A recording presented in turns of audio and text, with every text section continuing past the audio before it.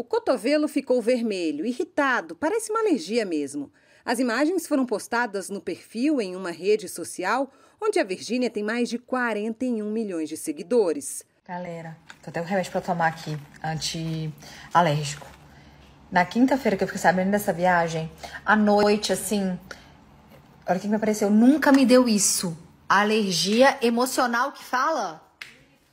E eu até pesquisei no Google quais são os sintomas e é vermelhidão e coceira, e é o que eu tô sentindo. A influenciadora que está nos Estados Unidos com o marido, o cantor Zé Felipe, recebeu um prêmio e revelou estar ansiosa por isso. Ela acredita que o emocional causou a alergia.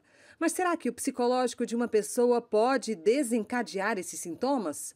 O estresse emocional, né? Então, a ansiedade, é, tanto por coisas boas quanto por coisas ruins, podem funcionar como cofatores para alguma doença de base que, que já exista, né? Então, a gente tem é, várias condições que podem ser pioradas pela presença do estresse, que vai funcionar aí como um cofator, tanto é, para coisas boas quanto para coisas ruins. Muita gente acredita que o estresse ou um fator emocional podem causar doenças no corpo.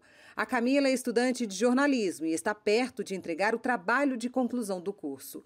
Diante de dias estressantes, o corpo reagiu. Eu tive alergia emocional esse ano devido à correria da minha rotina, porque eu estou no último ano da faculdade e aquela fase de TCC, estágio, coisas muito importantes para o desenvolvimento acadêmico e profissional, mas que exigem dedicação. Então eu não soube como administrar isso com leveza quem já tem predisposição a crises alérgicas ou sofre com imunidade baixa ou outros fatores deve tentar controlar a ansiedade e o estresse para evitar novos casos. O estresse é um mecanismo de defesa, mas que na nossa sociedade atual a gente tem tido várias fontes de estresse, várias fontes de ansiedade e que essas reações têm sido muito exacerbadas.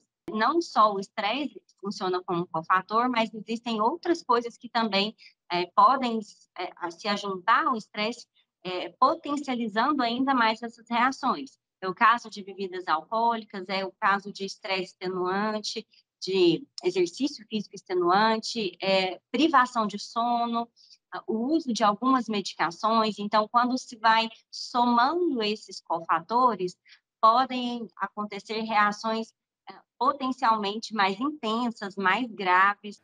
Mas se assim como a Virgínia e a Camila, a alergia já veio, o melhor é procurar um médico. É importante que procure ajuda médica, né, para que seja avaliado uh, o grau de gravidade e em cada caso vai ser prescrito uma medicação uh, apropriada.